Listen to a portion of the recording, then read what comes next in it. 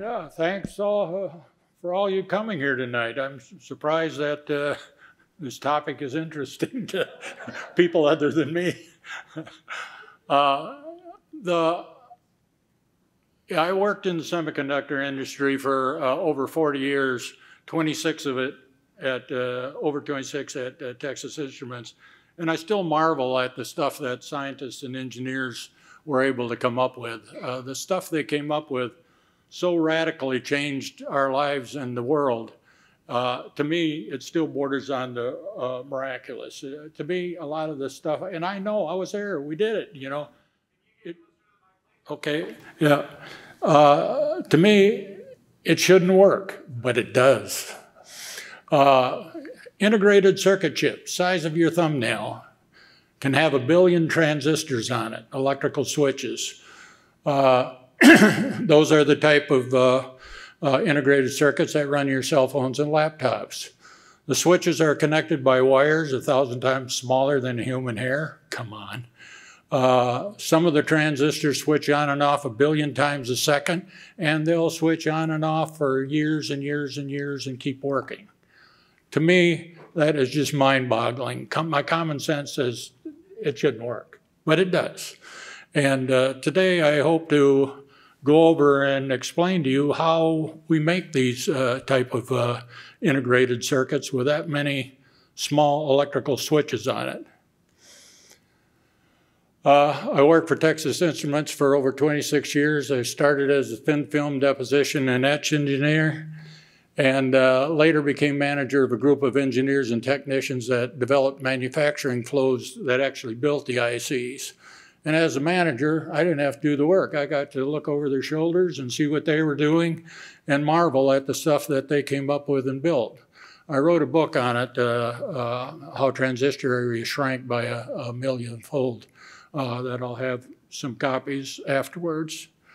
My plan was to present portions of the book and show you how ICs are made, uh, plus give a few examples of processes and equipment that I really find amazing. Uh, but then uh, I was talking to uh, uh Tom Keenan, and, and uh, he was telling me about uh, some of the things that his father told me about the early days at TI and that, before my time and that. And so I started looking into the history of TI and the history of the integrated circuit, and it literally blew me away. I had no idea. I had no idea how incredibly unique the semiconductor industry is. And so I'm going to give just a brief introduction to give you just a couple of highlights of that. And I also didn't know that the company, uh, Texas Instruments, that I spent most of my professional career at, is a company that's primarily responsible for jump-starting the semiconductor revolution. The birthplace of the semiconductor revolution that so raised the standard of living of the whole world started just a few miles south of here on 75 in North Dallas. and I'll just tell you a bit why I say that uh, uh, too. Uh, so I, at the beginning of my talk, I added just a couple of uh, short uh, uh, additions to describe this to you. Uh, so the outline, uh, a brief overview of the semiconductor industry, why I think it's so unique, briefly describe how Texas Instruments started the semiconductor revolution, and then I'll go into and describe NMOS transistor switches, how they work and how we build them. Uh, briefly describe the constant stream of inventions that occurred year after year after year in order to keep the IC uh, uh, uh, circuit shrinking and present a few examples of what I thought the, uh, or uh, when I thought transistor shrinking was uh, stopping, only to have some group of scientists come out of left field and uh, pull a rabbit out of the hat and uh, keep it going. there is so much, I'm just hitting the tops of the iceberg. There's so much here that could be covered. Uh, I had prepared a bunch more slides about TI and what, how TI went from such a small company to big. There's a lot of interesting stories there, but that's going to have to happen uh, some other time because uh, there's just too much. Uh, the uh, but in case you're wondering why do we need IC chips with billions of transistors that switch so darn fast, I'll just describe briefly uh, FaceTime uh, uh, to give you an idea. It took until 2004 for cell phone chips to finally have enough transistors on them and be fast enough so that they could do FaceTime. Our smartphone camera takes about 30 pictures per second, and each picture is composed of over a million uh, uh, points called uh, pixels. You can see across the top of the screen there's 828 pixels and vertically uh, seven, over 1700 pixels. So there's almost a million and a half uh, pixels to make up that picture on your cell phone. And your cell phone takes 30 pictures of those a second. It then, your cell phone chip converts each pixel to a binary number that specifies the pixel's color and brightness. So it's doing that to all million and a half pixels. It sends these binary numbers to your friend's cell phone.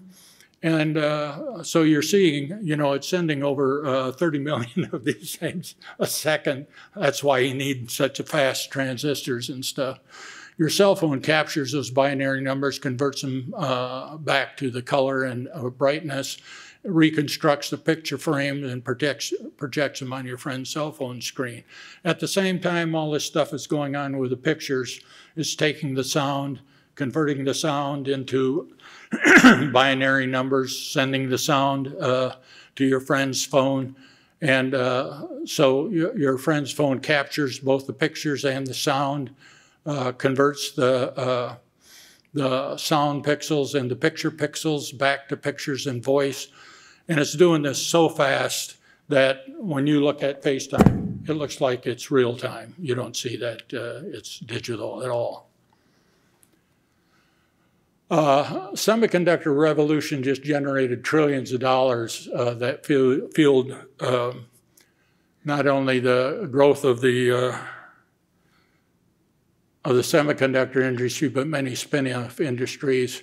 Standard of living across the whole world uh, just uh, went way up. Even people in remote areas have televisions and cell phones. And uh, thousands of new businesses, thousands of new products, telephones advanced from landlines to pagers to cell phones and then to smartphones in just a matter of a couple decades. Uh, cameras advanced from film cameras and film movie cameras to digital still cameras and digital movie cameras to digital cell phone cameras uh, that also take movies. Most people now, when they go on their vacation, they don't even bother about a, a, a camera or a movie camera. They just take their cell phones. The, the uh, uh, cameras on cell phones are just so good uh, these days that you don't need the other ones. Uh, most appliances, tools, automobiles are run by microcontrollers. Uh, TI was first developed the first single chip microcontroller. Uh, TVs changed from bulky cathode ray tubes with limited screen size to the, that sat on TV stands now to lightweight, large flat panel TVs that hang on the wall. And ICs enabled the invention of life-changing medical equipment such uh, as, as Tom mentioned, like MRIs, CAT scans, ultrasound, implanted pacemakers, non-contact temperature set, and on and on and on. And there's so many more. I mean, we could go on forever. It's just uh, endless. So how is the semiconductor industry unique? I believe the semiconductor industry is unique because it was started by brilliant scientists and engineers who also were brilliant uh, businessmen. And in my uh, uh experience, uh, tech nerds aren't often really good businessmen. but uh, they're darn good tech nerds. Um, this this just shows the leaders of like Texas Instruments, the main big companies, Bell Labs, Fairchild, and Intel, IBM. They're all technical degreed people. Cutting edge semiconductor R&D is crazy expensive. Thousands of professors and PhDs and grad students uh, left academia to go to semiconductor companies and research labs where they could do cutting edge research funded by the influx of the hundreds of millions of dollars uh, from semiconductors. They went to places like TI, Fairchild, Intel, Motorola, IBM, uh, Sematech, IMACLAD. The scientists and engineers that I worked with at TI were not at all driven by money. Their main focus was uh, keeping Moore's Law on track and designing ICs with new cool functions that were made possible with the new technologies that they were developing. The enormous wealth that their uh, work generated wasn't their uh, main focus. It was just a convenient byproduct that funded the work that they enjoyed doing. Uh, in 1965, Gordon Moore, a PhD chemist and co-founder of Intel, made a comment based on his observations that the density of transistors on integrated circuits would probably continue to double every couple years with very little increase in cost. This statement became known as Moore's Law. For some unknown reason, I'd really like to know. If anybody does know, tell me. Uh, the technical leaders of the giant semiconductor companies took Moore's Law on as, as, a challenge and turned it into their business model. To me, that was just plain crazy. I, I, I can't imagine uh, any business person doing that sort of thing. When they adopted that business model, these high-tech companies signed up to push existing equipment and processes to the very limit and make the highest performance integrated circuits possible. And then, in just two years' time, invent and develop new equipment and new processes that could make ICs with double the transistor density. That's just crazy. The gamble they took was huge. There was no guarantee that uh, new processes and uh, machines could be invented, developed, and made manufacturable that quickly. They had monumental, monumental faith that the technical community could figure it out and uh, would deliver to the new technologies to that crazy schedule that they had promised. Amazingly, those high rollers were dealt winning hands again and again.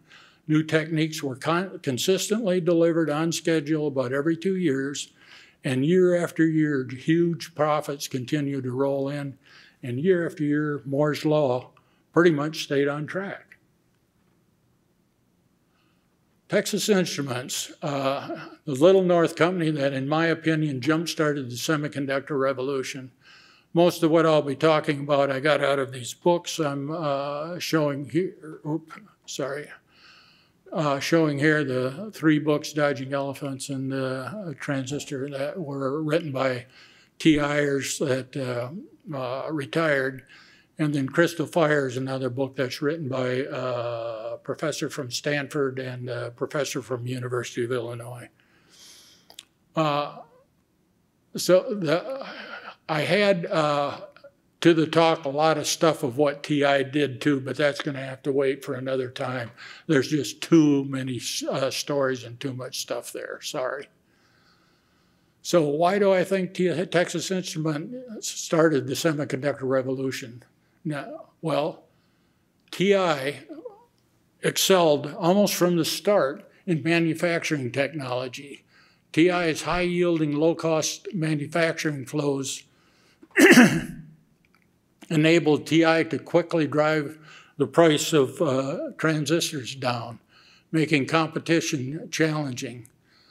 The big companies, uh, technical companies at the time, like AT&T, Raytheon, Sylvia, or I mean Sylvania, GE, uh, I can't read the other, Motorola, uh, they all had profitable businesses manufacturing uh, vacuum tubes. Well, TI didn't have any vacuum tube business. They if they made transistors, they had to make a profit by selling uh, transistors. So TI had great motivation to go out and create markets uh, for their transistors so that they could sell them. Uh, it turned out uh, TI was able to sell, even early on with the germanium transistors, was able to, to sell them at good prices. And uh, other companies often bought uh, the transistors from TI because they could buy them cheaper from TI than they could make them themselves. Uh, IBM soon signed up, uh, signed a multi-year contract with uh, TI uh, to buy tens of thousands of transistors every year to put in their transistorized computers. In 1954, TI invented the first commercial silicon transistor, and for the next year, four years, TI was the only company that knew how to manufacture uh, silicon transistors. They kept that secret pretty good. Uh, germanium transistors are only good to 70 degrees, whereas silicon transistors are good up to 150 degrees. And because of this, uh, the military, space, and consumer markets really wanted the uh, uh, uh, silicon transistors. They were in high demand.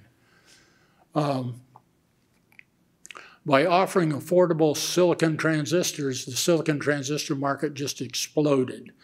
And as the market for silicon transistors exploded or rapidly expanded, so did TI.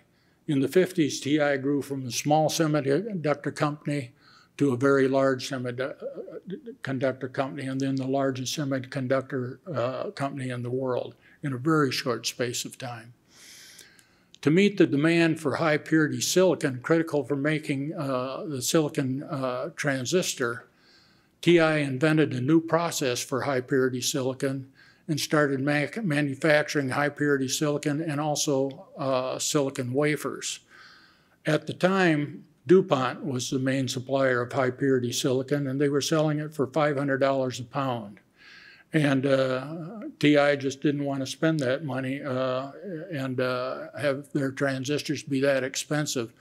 So they invented their own method, uh, a cheaper, better way of making high purity silicon. And, uh, and when one of the raw materials to making the high purity silicon ran in short supply, they went out and invented a way to make the uh, uh, uh, raw material to make high purity silicon. And then TI uh, became, in addition to a uh, uh, transistor company, a chemical company. And TI started making tons of high purity silicon and thousands of high purity silicon wafers. and TI supplied the silicon market, semiconductor market early on uh, with these high purity silicon, and uh, it was the main supplier of high purity silicon. This, I think, as much as anything, uh, give, uh, is why uh, TI is responsible or the main force behind the silicon uh, revolution. At its peak, TI was making and selling 3.2 million wafers a year. So during the 50s, TI grew from small semiconductor co company to the world's largest semiconductor company, and it stayed on top throughout the 60s and 70s. And uh, uh, TI to this day still remains one of the top 10 uh, semiconductor ma manufacturers.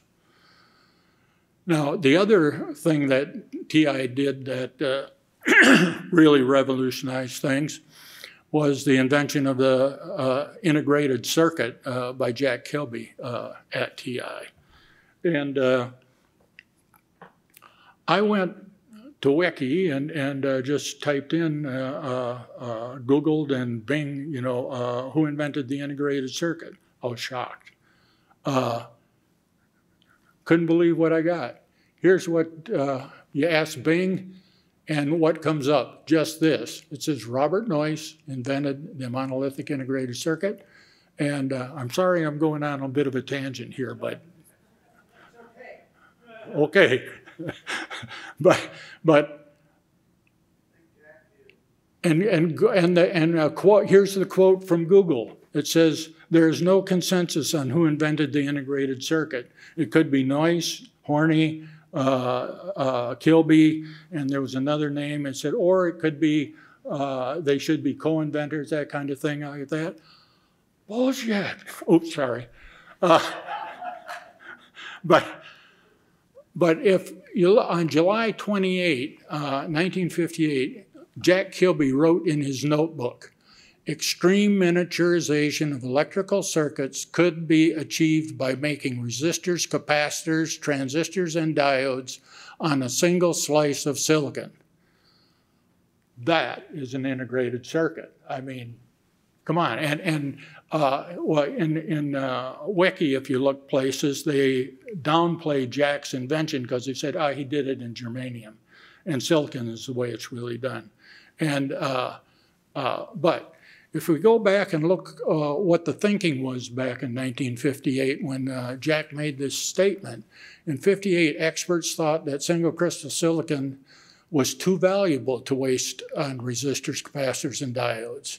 The main focus of miniaturization in 58 was the Army's micromodule approach, where they would make transistors, all, all, these different components on separate pieces of silicon that were all shaped the same size, and then wire all the separate pieces of silicon together. That was a focus. That's where that was uh, uh, where everyone was going for miniaturization at that time. Uh, and the expert thinking in 58 was that transistor to transistor variability was so great that a multi-transistor ICs just would never yield and that. So what Jack did is on uh, September 12 and 58, he demonstrated a two transistor phase shift oscillator IC, uh, IC on a single piece of uh, crystal ger germanium because at the time germanium was more handy than silicon at TI. And then just a week later, he demonstrated a two transistor flip flop integrated circle, circuit also on germanium. Now, Kilby's invention in integrated circuit demos, they were revolutionary. He proved that the expert thinking at the time was incorrect, was just plain wrong. Jack Kilby's IC came to be known as the hybrid IC because he wired the components on his ITCs together using wire bonds, filled wire bonds.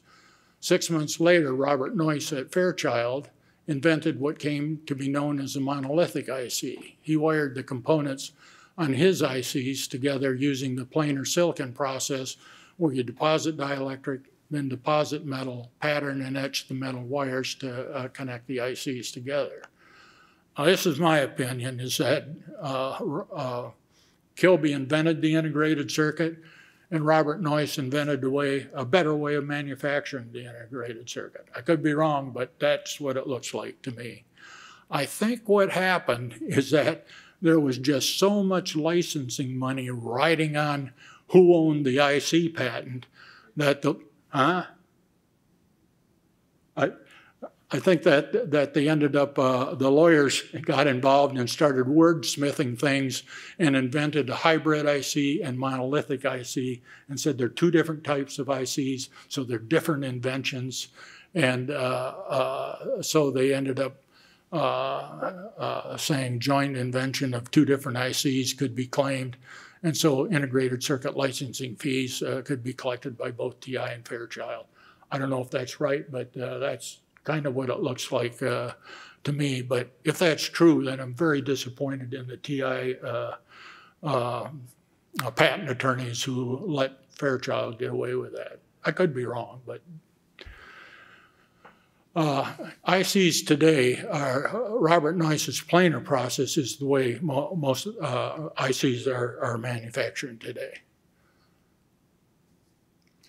Uh, just one other thing I'd like to cover that uh, I, I, was surprised to find out that uh, people I worked with uh, at TI and that didn't know about, but in 1993, Texas Instruments totally revolutionized the semiconductor industry and how we make uh, uh, integrated circuits. Uh, in 1998, that's 10 years before these 12-inch wafers were, were oops, sorry, expected to come out. Uh, the government agencies, ARPA and the Air Force awarded TI an 80 plus million dollar contract to invent and develop new manufacturing technologies capable of manufacturing ICs on 12 inch wafers. Uh, it was the, the current, sorry, the current process at the time uh, was was batch processes, um, shown in the, up here. You take a uh, a boat and, and load these uh, silicon wafers, many silicon wafers, dozens and dozens, into the boat, and then shove them into this furnace tube. And in that furnace tube, you deposit the uh, film like polysilicon, oxide, nitride, whatever, uh, deposited on these uh, uh, wafers. And they could do it uniformly, get a uniform form, uniform film across those wafers when they were six inch and eight inch. But it was clear when 12 inch came, there was no way it was possible to do that anymore. You needed a new technology. So the government funded TI over 10 years ahead of time to figure out how are we going to do this. And they gave TI over $80 million to do that. Well, from 1990 to 1993, a team of scientists and engineers uh, led by uh, uh, Bob Doering, uh, actually at Texas Instruments, uh, ran this MMST program, and they invented dozens and dozens of tools and processes uh, that uniformly deposited film, uh, thin films across one wafer at a time, uniformly etched thin films uniformly one wafer at a time, and annealed dopants uniformly one wafer at a time. Uh, yeah, this just compares uh, process flows. The uh, one on the uh, left here is what the factory looked like, a TI factory looked like in 1993 where you can see all these processes here are done in furnace tubes in the batch. The process that these guys invented at TI in 1993 looks like this, where most of these processes are now single wafer tubes. If you go in the factory today and look at what the process, what the factory looks like, how you're manufacturing wafers, it's going to look very much like the process that these guys invented. So anyway, in the first quarter of 93, uh, that MMST team processed a thousand double level metal wafers on the 0.35 micron CMOS process using their newly developed single wafer manufacturing line. They actually processed several wafers from start to finish in three days. That amazes me still. That's a world record that's never been uh, equaled uh, that I know of. Typical cycle time to process a wafer from beginning to end uh, using the batch process was on the order of about two months. They did it three days. Uh, the government MMST uh, contract stipulated that because technology was developed with taxpayers' money, the technology had to be made available to all the uh, semiconductor companies a group of T, uh, TI engineers who worked on the MMST program proposed to split from TI and start a new company manufacturing these new single wafer tools. That would have been a good deal. I was talking to them at the time and hoping I could go with them, but that never happened. Uh, instead, to avoid uh, conflict of interest with TI's competitors, TI bundled those patents all together and sold them to Applied Materials, which was already an established semiconductor manufacturing company. The original versions of many of the single wafer tools that Applied Materials now uh, uses are based on that single wafer technology that TI uh, developed. And Applied Materials uh, uh, is the largest semiconductor uh, manufacturer of equipment in the world, I think, today. Is that right, Patrick? Yes. Yeah, yeah. Okay. Uh, God. Take your time. You sure? Yeah. Okay. Here, here's another interesting project that happened at TI. There's so many more, but I just picked out two that happened to uh, strike me. In uh, uh, 1991, I was at TI at the time. I had no clue that uh, this was going on at TI. I only heard about it long after the fact. I heard uh, about uh, some of the engineers, I think over in the, in the, the SC building and stuff that didn't go home for days. They slept under their desks. They slept because they were working on this project. But anyway, Operation Desert Storm started on the 15th of January 1997. Iraq had hardened bunkers that were deep underground that our munitions just could not penetrate. So in late December of 97, the U.S. Air Force approached Lockheed and Texas Instruments and asked them to start a, uh, uh, rush program to develop a bunker buster bomb that could reach these deep underground uh, bunkers. They started the whole project just on a handshake. Uh, there were no written specifications, nothing written down. They just took off and did it. That is like what Tom was saying about how dedicated uh, TI uh, uh, was. Um, on January 25, Lockheed started repurposing surplus 18 long, 8 inch howitzer barrels uh, to contain the explosive. On 13th uh, of February, they said they'd send two test rounds and two live rounds. Um, the project officially started the 14th of February. TI built some models and, and uh, what TI was, uh, so Lockheed was going to uh, supply the bomb itself and TI was supplying the guidance system that would, uh, because they were releasing this bomb from uh, uh, I don't know, 30 plus thousand feet, 30, 40,000 feet up, and it had to be guided down to the target. And TI was designing the guidance system for that. Um, on February 24, the first bunker buster bomb, guided by TI's new guidance system, uh, was dropped over the New Mexico desert. It hit target and buried itself 100 feet down. Uh, success. On uh, February 6, a bunch of brave men hand poured hundreds of pounds of hot explosive to fill those casings. And while that hot explosive was still cooling, two bombs were uh, flown 17 hours over to uh, Saudi Arabia with five hours of landing. They were under the wings of F 11. And that very night, they were uh, dropped. One of the bombs hit the bullseye and uh, busted the bu bunker. Uh, in the story about it that I read, they said uh, uh, they dropped it and they looked, they didn't see anything, nothing happened for a couple minutes, and then the smoke started pouring out of the vent, so they knew that they had been successful. Next day, uh, Iraq called for a C4 uh, fire, uh, ceasefire. There's a lot of other uh, stories that'd be interesting, but uh, you know maybe some other time. And that okay uh, get to uh, semiconductors and how, how, we actually make semiconductors. Uh, so on a silicon wafer, we make these uh, integrated circuits. Each square is an integrated circuit. You cut it, cut out the integrated circuit. Around the integrated circuit are these uh, bond pads uh, where signals go in and out to the integrated circle. Take that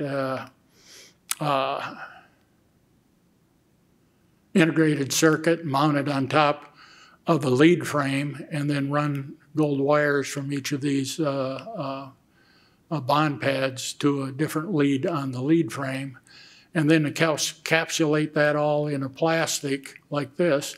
So inside is the integrated circuit and each one of these metal tabs out here uh, goes to a different uh, um, signal lead and you mount these in uh, you know, on circuit boards.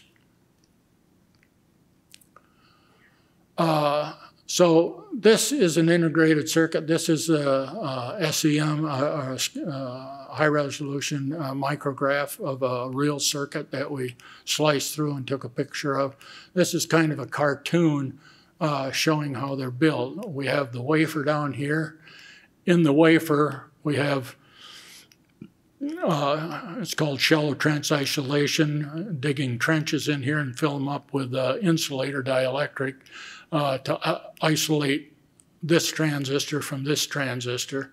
After we do that, we then build the transistor gates uh, on here and then put down a dielectric layer, pattern it, cut holes down in it, fill the holes with uh, tungsten, so we have electrical contact between the source and drain of these transistors.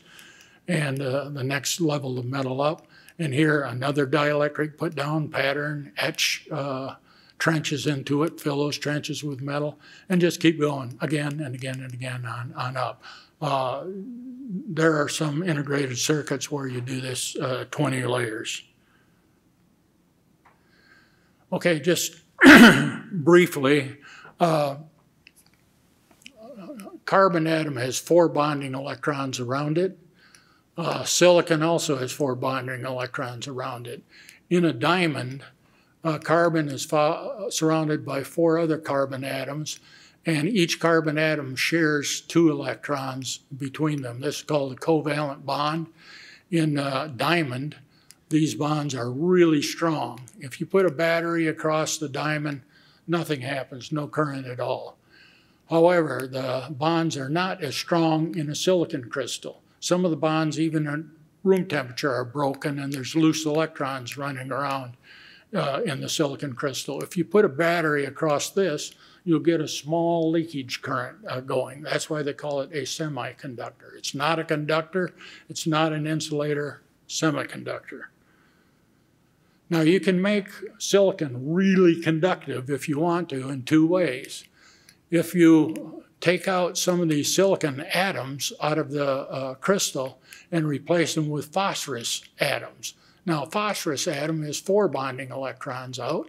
So if you stick these phosphorus atoms in here, you end up having an electron, an extra electron that's running around here. And uh, put a battery across here and it conducts electric, uh, electric very well. You know, the heavier you dope it, the more phosphorus atoms you put in on, the lower the resistance of the silicon. Uh, the other way you can uh, make silicon conductive is by replacing the silicon atom with a boron atom. Boron only has three electrons around the outside. So when you stick boron atoms into the silicon, when you replace silicon atoms in the lattice with boron atoms, there are missing electron, uh, missing electrons, and those act like positive charges. If you put a, and you can make the electra, the uh, uh, single crystal silicon very conductive by doping it heavily with boron. If you put a battery across the boron, like the electron from this bond will hop over into this on, and this uh, positive hole will move over here. And then this electron will hop over and the hole moves over. So the holes move in one direction and electrons in another. And so you can have p-type, which is, uh, I mean, uh, you can have this uh, n-type silicon, n because negative uh, electrons carry the charge. And you can have p-type uh, silicon because these positive holes carry the charge. Now, if you stick uh, p-type silicon against n-type silicon, put them together, you get what's called a p-n junction. And p-n junctions are kind of cool because if you hook a battery across the p-n junction, you can forward bias it where you put the positive side of the battery against the p-type silicon, negative side of the battery against the n-type silicon, and electric well, electricity will just flow through this thing until the battery runs dead. Uh, that's what's uh, uh, neat about a diode. The electricity flows in one direction, but not in the other direction. If you reverse the polarity on the battery on here and put it on, no current flow at all.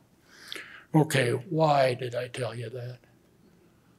Okay, that's, now we can see how a, transistor works.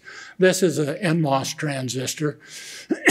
MOS transistor, MOS comes from the uh, original, originally you had a metal gate and then an insulator or oxide, uh, at the time was oxide, and then substrate. And uh, so that's where uh, MOS comes from, metal, oxide, substrate.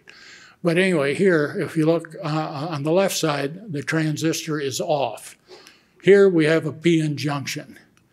Here we have the positive voltage on the n-type dopant. It's reverse bias, no current flows. Uh, so this transistor is off. now what's cool about the uh, these transistors, you can uh, put a positive voltage on the gate. Well, well, negative charges are attracted to the positive voltage. So negative loose negative charges in the substrate get pulled up underneath uh, this insulator, underneath the gate oxide. They would like to go, but the gate oxide prevents them. But they accumulate underneath because of the positive side on the vote. In fact, so many of them accumulate that they fill up all the holes that were there, and then excess electrons uh, pile up underneath that uh, uh, uh gate oxide. and now there's more negative carriers there than there are uh, positive carriers, so that uh, you've turned the p-type n-type. Now you have N-type silicon, the electricity just flows freely uh, right from source to drain and the light turns on. Uh, if you take the voltage off the gate, there's nothing to hold those electrons underneath there. They diffuse away and they diffuse away re really quickly. You can turn this transistor on, on and off uh, millions of times a second. Here's a picture of a, a, a, real picture of a real transistor where here you see the isolation uh, or the shallow trench isolation which, which uh, isolates this transistor here from the transistor uh, that you'd be next to it. Here you can see the gate uh, of the transistor and uh, these are the contact plugs, one uh, to the transistor source and one to the transistor drain. Uh, so we're going to go through and uh, just explain uh, how we build a transistor. As before, it's kind of, uh, I mentioned it's layer by layer. Uh, oh, okay, yeah. the, the um, this right here is a transistor OR gate, a logic gate. So here we have the uh, a source on either side of these two gates with a drain in the middle. And we're going to look for current on that drain. Well, we can get current on that drain if either this transistor turns on or this transistor turns on or both of them. So it's, it's an OR logic. Uh, we can uh, look for either this turn, transistor turning on or that turning, uh, transistor turning on. So to build transistors, we build them layer by layer. Typically, we put down a layer, a thin film on the wafer. It may be an insulator, it may be a conductor like dope, polysilicon, or metal. We then form a pattern on, the, uh, on that film. We deposit photoresist. That's a photoactive polymer where when light hits that polymer, it, uh, a chemical reaction undergoes, and it changes the uh, where the light hits it. It changes it from being insoluble to soluble. Uh, so we project light uh, through our pattern, our photoresist, uh, our pattern or reticle, it's sometimes called. But wherever light hits the uh, photoresist, it, the chemical reactions occur and make it soluble. So then we can take a developer solution and uh, wash away and where the uh, polymer was exposed, uh, the uh, photoresist goes away and we're left with this pattern on top of the wafers uh, where the uh, photoresist protects the layer where we want it protected. We can then etch the film, create reactive free radicals in a plasma. Uh, here I've shown uh, chlorine free radicals. These things are very reactive. And uh, wherever, like a, a film like, uh, uh, say, silicon, like the silicon substrate, or polysilicon, wherever it's exposed, the chlorine atoms attack it and etch it away, and it uh, uh, uh forms the gas and gets uh, uh, pumped away. Um, now, a plasma, we, we, we see plasmas, you know, every day and don't think about them, but like a neon sign inside a neon sign, uh, it's a plasma where you have a neon gas and you run a current through it and the electric current goes through the uh, neon gas and forms the plasma, and it knocks electrons off the uh, neon, uh, uh, forming a neon ion. The neon ion is very reactive, so it finds the nearest electron, grabs it, and uh, goes back from a neon ion to a neon molecule. When it does that, it gives off the neon light, and that's how we get neon light. But uh, inside the electricity running through the gas is a plasma. After we etch away the, and take away the uh, uh, film that we don't want, we then remove the uh, photoresist. So uh, this is just equipment used to, uh, build ICs. We, to put photoresist on the wafer, we have a dispense model that dispenses a puddle of photoresist. This chuck then spins fast and you end up with a very thin layer of photoresist across the wafer, very uniform.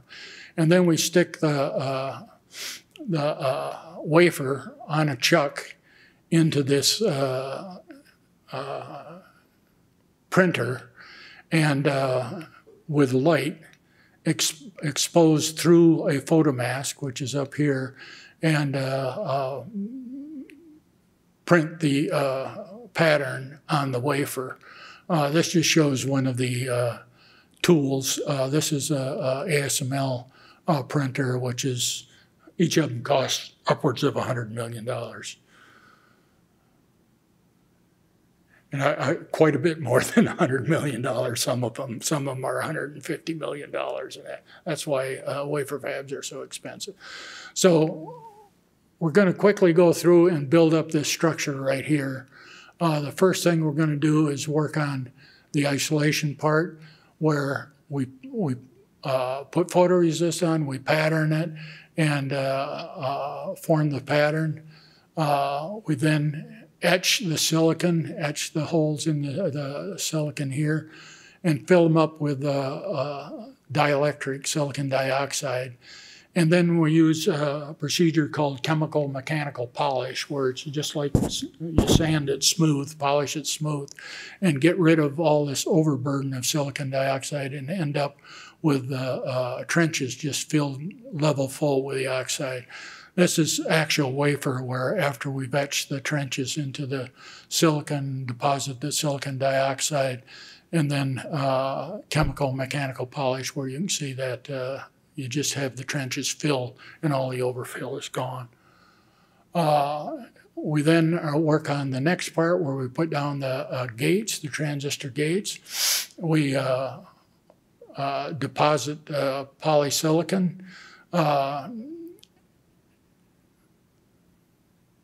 and then form a, the gate photoresist pattern on the polysilicon, and again use a plasma etch to etch away the polysilicon that we don't want, leaving just the gates and everything else is gone. Uh, now we need to put in the source and drains. These are, uh, uh, we need to dope the uh, source and drain silicon next to these gates uh, N-type. So on, uh, we put down a pattern to keep the uh, dopant from uh, uh, places we don't want it. And then we implant phosphorus into the uh, silicon here next to the gates to form the source and drains of the gates, to form the PN junctions next to the transistor. We do this by, we take phosphine gas and in a plasma uh, get rid of an electron and we form uh, phosphorus ions.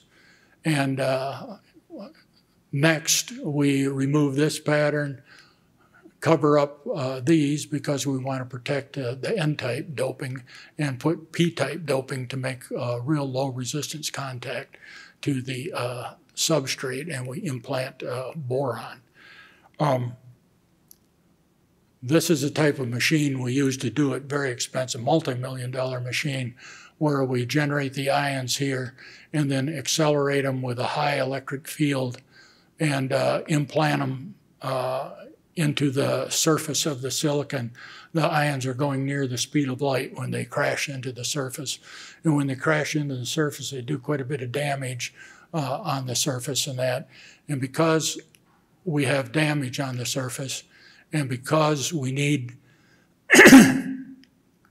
uh, what we need to do is, is get these uh, ions that we've implanted into the surface, we need to activate them.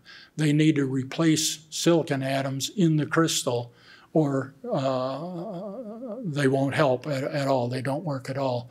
So we need to heat the wafer uh, to about 900 degrees, and at 900 degrees, silicon atoms will come out and uh, the phosphorus or the boron atoms will replace the silicon atoms in the uh, crystal, and that, and we use a rapid thermal uh, like that. So after we form the source drains and we form the substrate contact, we put down a layer of dielectric, we pattern the dielectric and form uh, contact holes through the dielectric, fill it up with uh, tungsten, uh, CVD tungsten, and overfill it, and then use that chemical mechanical polish again to get rid of the excess uh, CVD tungsten. So now we have dielectric covering all the uh, integrated circuit, uh, all the transistors, and uh, electrical contact between the substrate contact and the source and drains uh, up above. We then put a layer of intermetal dielectric, another dielectric, cut trenches in the dielectric, pattern and etch and uh, cut trenches in, and then electroplate copper to fill up those trenches and overfill the trenches, CMP again, and uh, we end up with uh, uh, copper wires uh, wiring our integrated circuit together. And this is a somewhat simplified view of what actually happens, but this gives you an idea of how we build these things. And uh, we can build them really small because we're building all this stuff using uh, plasma and molecules and atoms and plasma and molecules and atoms and stuff are really small. So they can get into really small areas. But uh, over the period of about uh, 40 years, 40 years, I guess it is, uh, like this gate was made a thousand times narrower, and this trench a thousand times narrower. So we ran into a lot of problems. so, how do uh, devices shrink? Uh, again, between 1972 and 2012, uh, transistor gates uh, length shrank about a thousandfold from 10 microns to uh, uh, 10 nanometers. So a thousand times smaller length times a thousand times smaller width equals a million times smaller area. Every four years, the geometry width we cut in half. Every two to three years, the number of transistors in a given area double. Uh, won't go over all this stuff, but it just shows that every node we had to reinvent the transistor uh, things changed so rapidly as we went from node to node uh, that uh, it was constant reinvention. Uh, like as these source drains here got closer together, uh, we started getting leakage between them. So we had to start putting sidewalls on to push them, keep them far enough apart so they didn't leak. Finally, the sidewalls got so large that we had to add extensions on these things so that we could still conduct electricity on it. And finally, the extensions got so close together, we had to add halo implants and that. But and and like uh, here, the gate got so narrow that the resistance of the polysilicon got too high, so we had to put a metal compound on top to cut down the resistance. Well, moly silicide is what we used first, and it worked for a while. Uh, but then we had to switch to titanium silicide because that ran out of gas. Titanium silicide ran out of gas. We had to go to cobalt silicide on these nodes. That ran out of gas. And we're now using nickel silicide on these nodes. And here's other methods that we use when the transistors just weren't quite fast enough to meet uh, the uh, specifications that we're getting to keep up with Moore's law.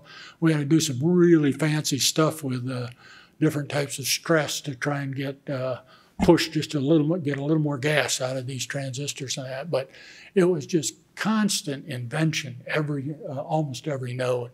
And the same way, like on these trenches where these trenches got squeezed, came narrower and narrower. We couldn't make them up much shallower. They just kept getting narrow and narrow. And here's a trench when they were down, and we started running into these problems time and again where we could not fill up these trenches without leaving voids.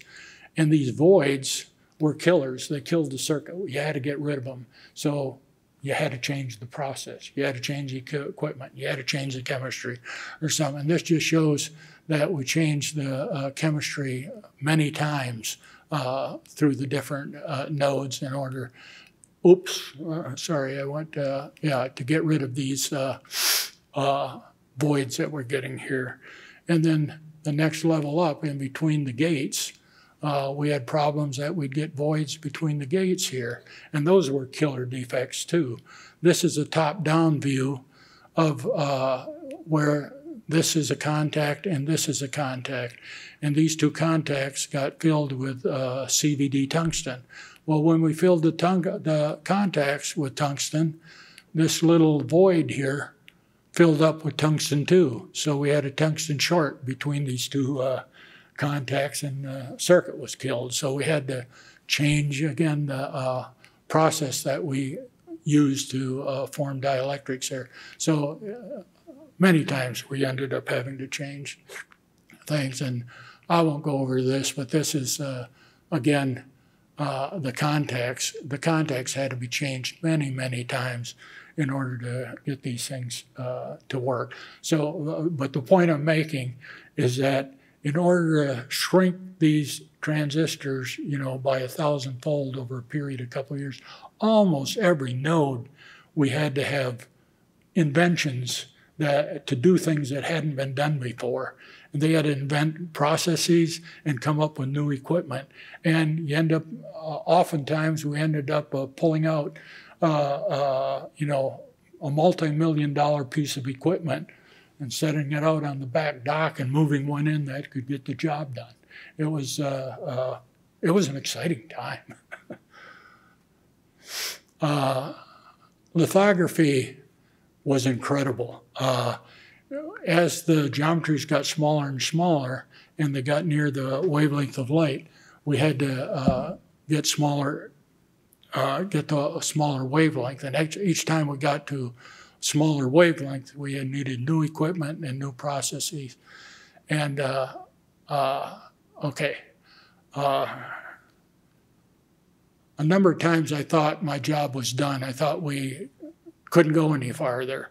Each time I was wrong. The uh, scientists and engineers pulled a rabbit out of the hat and got us past the back wall, and we kept on going.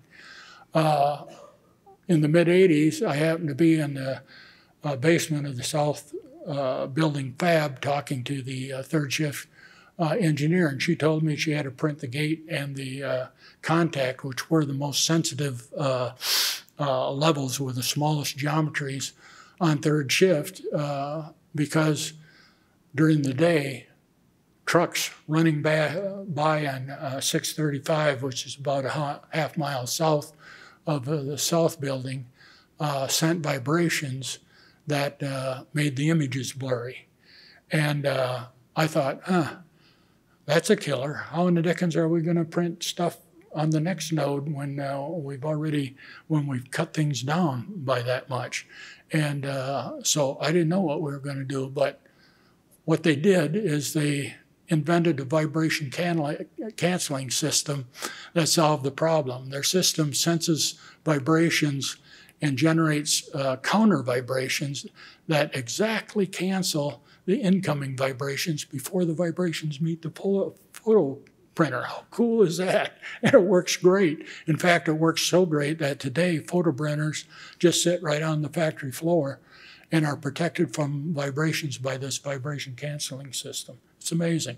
It works uh, really well same tech, type of technology that's uh, you know kind of used in uh, noise canceling headphones. Uh, dopant activation anneal is another one that uh, you know uh, really I think is uh, amazing. after you implant the source and drains, as I mentioned, you need to heat them to 900 degrees in order to activate the dopant. You need to get the dopant atoms to replace silicon atoms in the single crystal silicon. And you also need to heal the damage that uh, was caused by the implant. The problem is that the high temperature junctions diffuse closer together and you start getting leakage. These, these junctions uh, at high temperature start moving and they get closer together and you start getting uh, leakage. So we got to a point where things got so close together that the time at, that the wafers could be at 900 degrees had to be a minute or less. And that got to be really difficult. And I remember talking to people in the South Building who were working on this problem.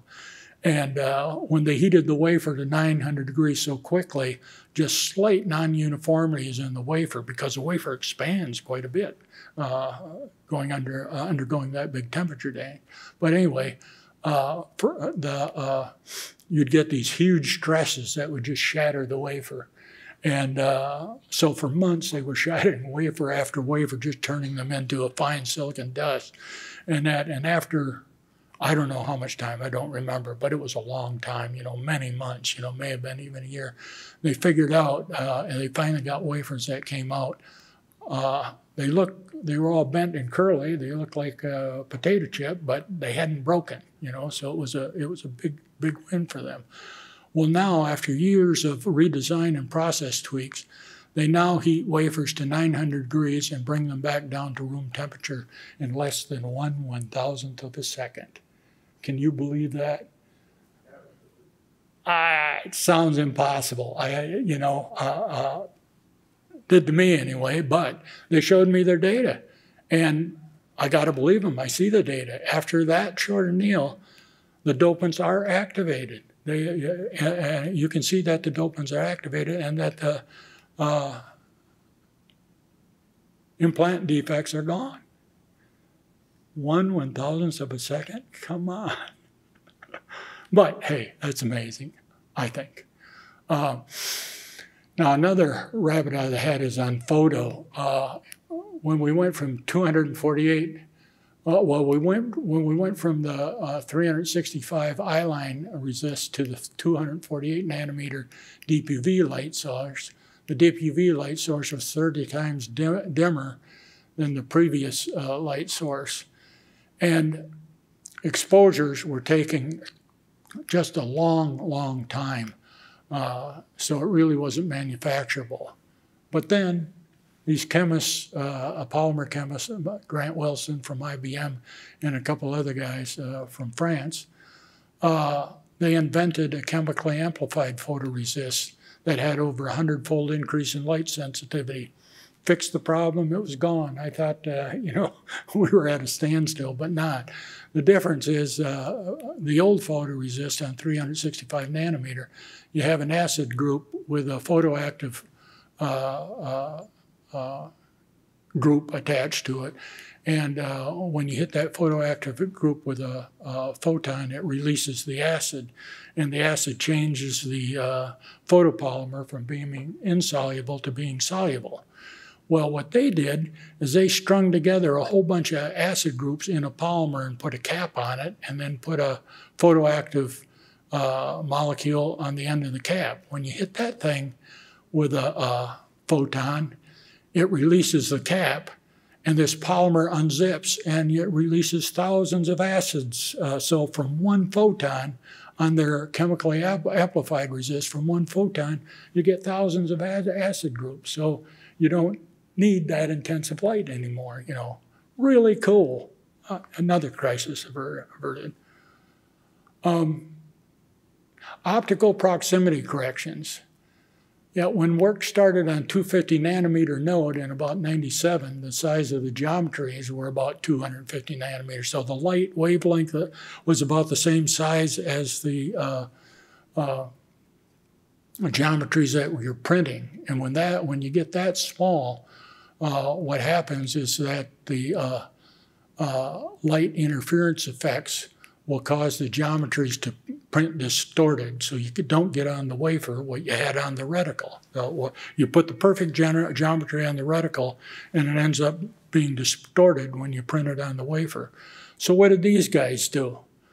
They, some of these uh, physicists and computer scientists, they wrote unbelievably complicated programs with uh, optical physics equations.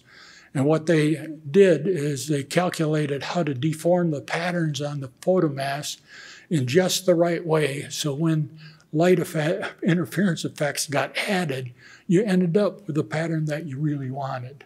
So the, the reticle, the patterns on the reticle look distorted and weird, but you end up getting what you want on the wafer. That's cool. they, uh, uh, wait a minute, yeah, so they also added what are called uh, SRAFs or sub-resolution figures. So the de designers wanted this on their wafer. And uh, they wrote a program so it would distort these geometries and they'd end up looking like they are here so that when you uh, printed those, you'd get this on the wafer. But that didn't completely work right.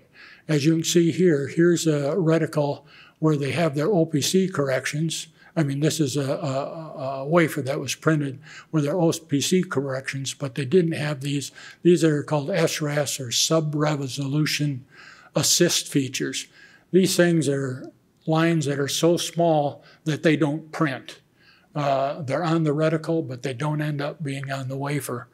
And uh, you can see without these sub-resolution figures, you got bridging here, and you have here a little geometry that's there that you don't want.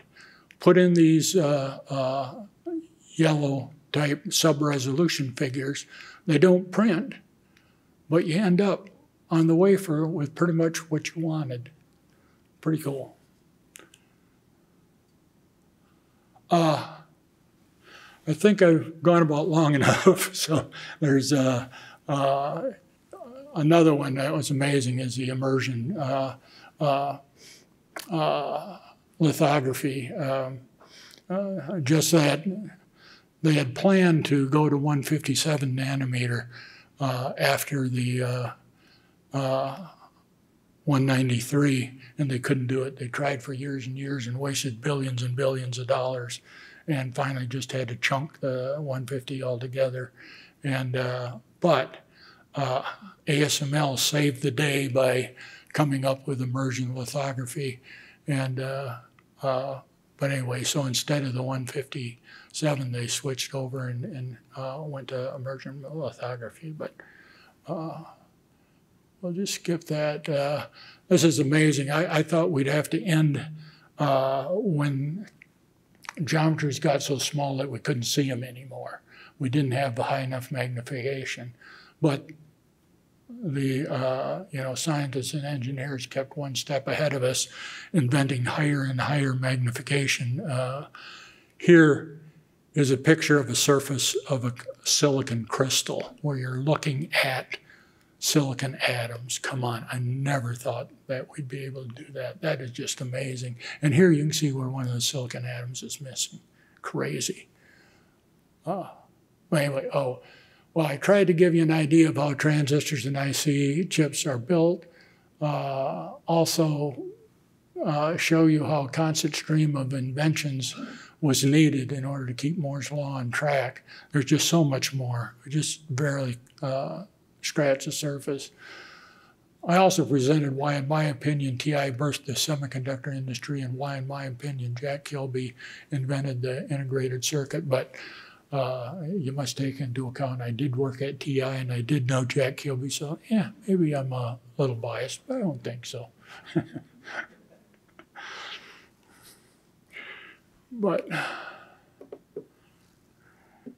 so, Tom, if anybody has any questions. I know I've gone a bit long. But. I'm going to ask the first two questions. Mr. Erik Jonsson once told me the secret, a secret to TI success was this the women who made the semiconductors. None of this would, could have happened without the women.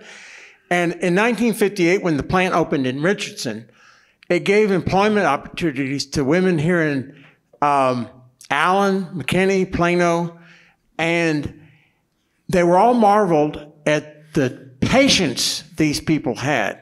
And I said women because none of the men had the patience. It was the women. Men didn't sign up for this job. And women would be under these microscopes all day.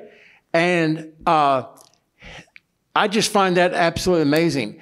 And one of the other secrets to TI success, Mr. Erik Jonsson told the women, if you have an idea to make this better, let us know. He'd sit down there in the factory with them. And they came up with great ideas. Anyways, that's, that's one of the secrets to TI success. The, the next slide. Now, I'm going to put you on the spot, Dr. Tigelaar.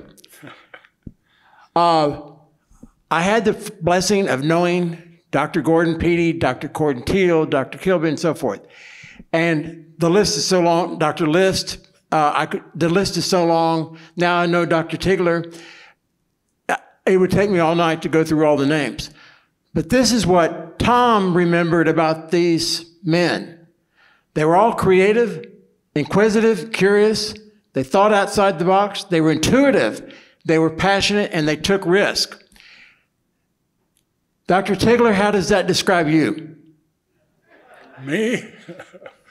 well, I think I had a few of them, but uh, I hope anyway. Yeah, I'm pretty passionate. Take a risk at a time. Yeah, I guess. I don't know. Other guys out here know know me, and they probably are. Well, for example, Pat Haggerty was was an art expert. He had um, he was curious about other things besides engineering. He had a deep passion for. Uh, Mr. McDermott had uh, a lot of pursuits, and so did Mr. Jonsson.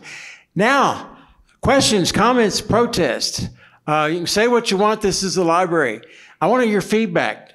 This is don't be bashful. Give your feedback, and it's okay to brag. Howard, yeah. Howard. So where the heck are we going to now? We've got to be stuck here. Every TSMC. It used to be 20 different country, companies were doing it here. Now it's TSMC and Hsinchu and Tainan. Now Taichung. Uh, Where are we going to? are we? Where's who going to? Where's the whole semiconductor industry going to in Moore's law? Where is the next generation coming from, and where is it going to be built? You don't ask easy questions. yeah. I really don't know. There, there are, uh, there's papers out there, you know, almost weekly or so uh, of new materials and stuff that uh, are com completely different, new transistor structures and that that promise to have uh, uh terabytes of memory and go three times or or no, 30 times as fast or something as transistors do now. I don't know. I I never thought we would get below about 20 microns or something like that. I was completely wrong. you know, I, I, never guessed that uh, they get. I, I was, you know, I would think that uh, when transistors got so small that uh, uh they acted more like dimmer switches than uh, on-off switches, that uh, that would be a huge problem. But doesn't seem to bother them at all. Before I entertain the questions, are there any of those women that were making the chips? Are there any of them in the house tonight? Will you stand?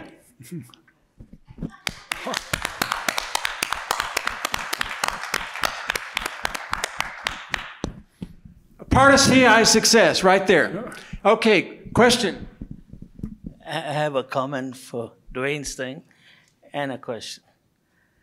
They're making molybdenum disulfide to replace the silicon under the gate, the channel, and that'll produce a trillion transistors. Some university in uh, Berlin, in Germany, is doing that, and I'm helping consult for them to build a tool to do that. That's what they're doing today. So that's one thing. How, how would one comment about the slide? The technology has gone to EUV, which costs about 150 million dollars a piece.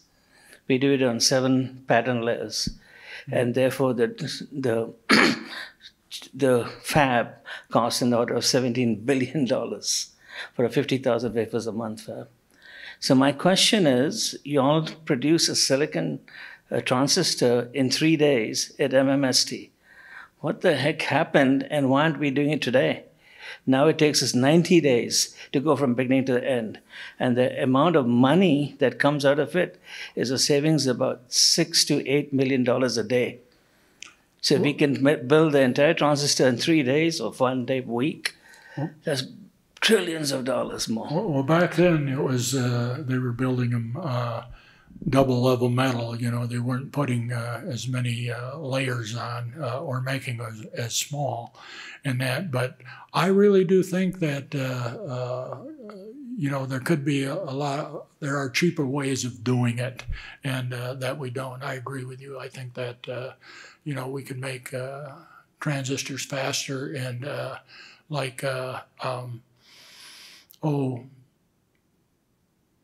put sensors on tools so you don't have to do uh, uh, inspections afterwards. Get rid of inspections and do it all with in situ uh, uh, sensors and that. Uh, I think there's st- uh, still low hanging fruit that can be done to make transistors. If, if you got rid of uh, a lot of uh, you know inspection steps and that you wouldn't have to. That would save a lot of time and move things faster. And boy, time sure is money when you're uh, making transistors.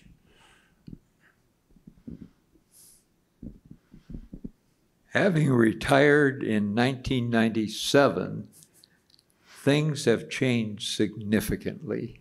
My question is, is are we going to run out of capability with silicon? So we're going to have to go to another base material.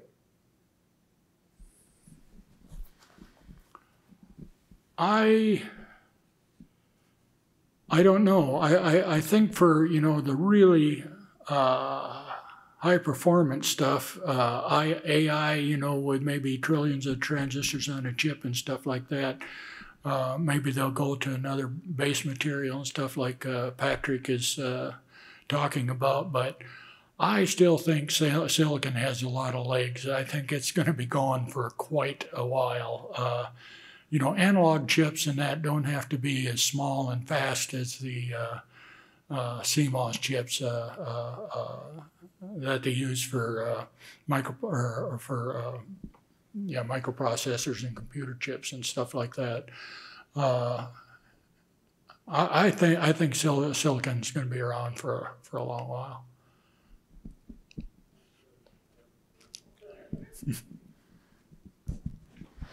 I was part of the group that started the MOS activity at TI. Congratulations.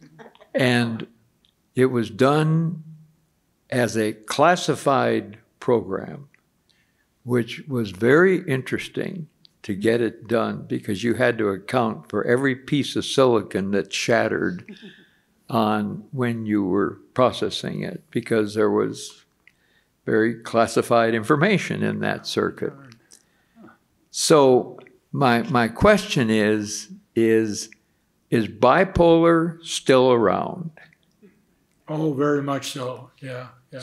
So TI is still making bipolar chips. And by CMOS. Yeah. When I'm not, I want to stay away from the CMOS, just the Okay, it's bipolar. Bipolar. Yeah.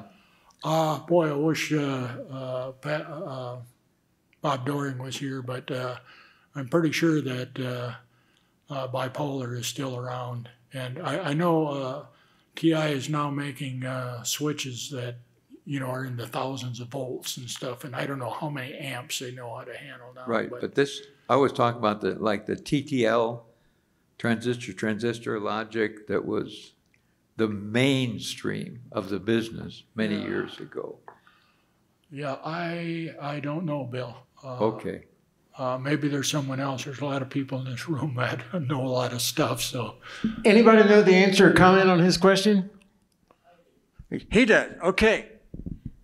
uh, and six inch and so on, they're making uh, um, discrete devices that use bipolar transistors.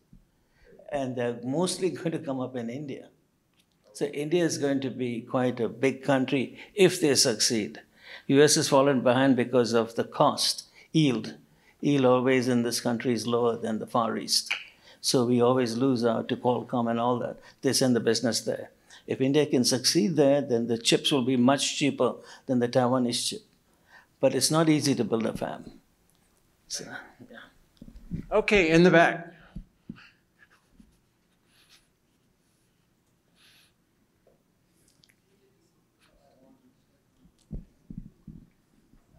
So on leaving silicon, the RF power amplifiers have already gone or are in the process, you know, they went gallium arsenide in their process, in the process of going to gallium on silicon carbide. When you have power FETs, those have, you know, they're expected that one fourth of the market by 2030 will be wide bandgap. So it'll either be gallium nitride or silicon carbide. So there's a chunk of the market that's already gone away from silicon. With mm-hmm. respect to bipolar, obviously bipolar components exist in analog mixed signal types of technologies, but for discrete bipolar, there's definitely a market of discrete bipolar, but that's not what TI makes and hasn't in years. Thanks. Comments?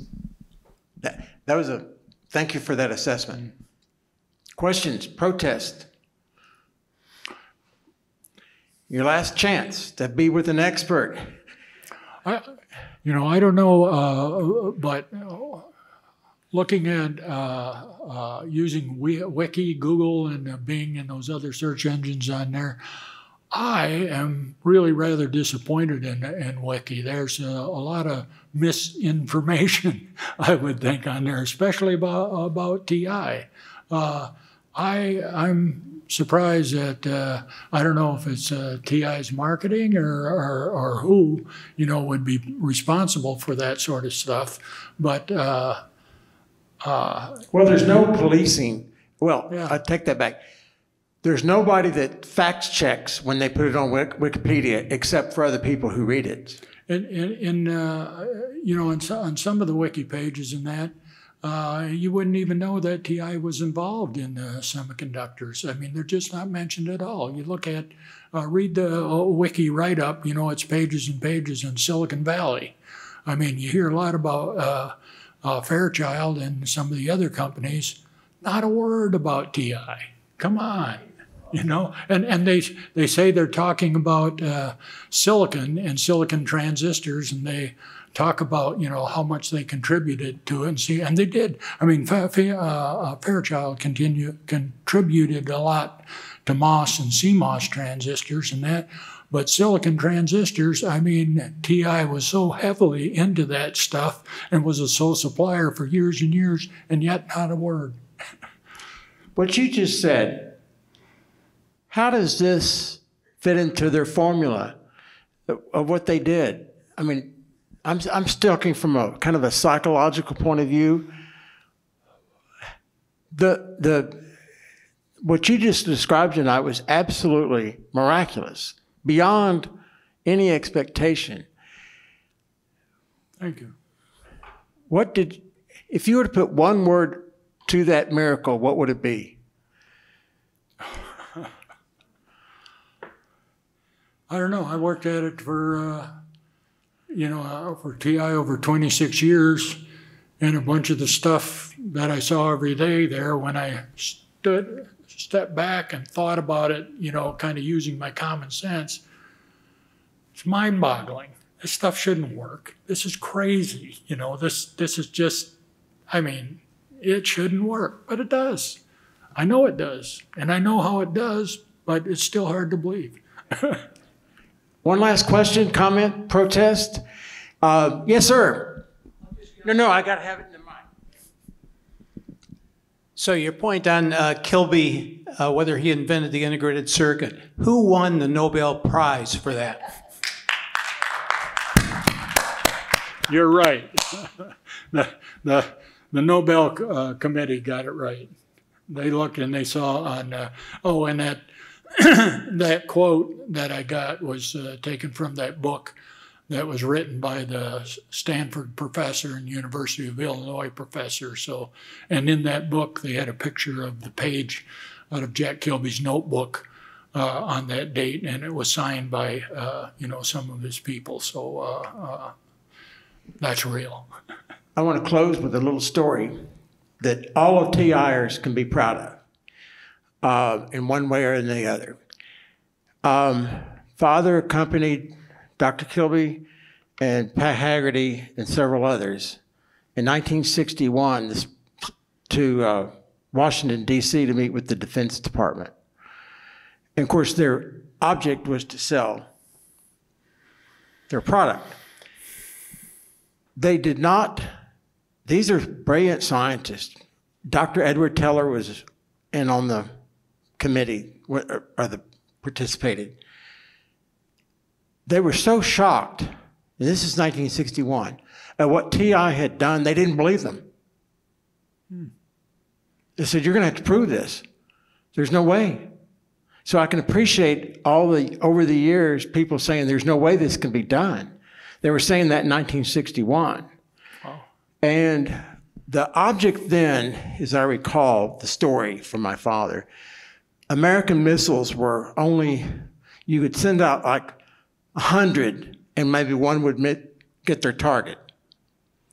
And with the semiconductor, at the time, this is 1961, the accuracy was up to 50 feet.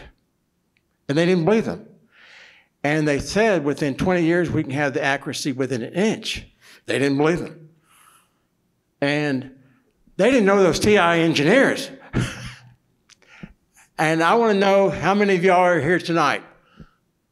Any of the any former, current TI engineers, would y'all stand? Go ahead and stand. Current, former TI engineers.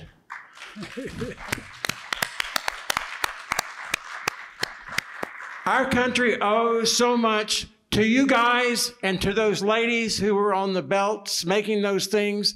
And thank you all so much for what you've done for our country and for the world. You've made it a better place to live. Thank you.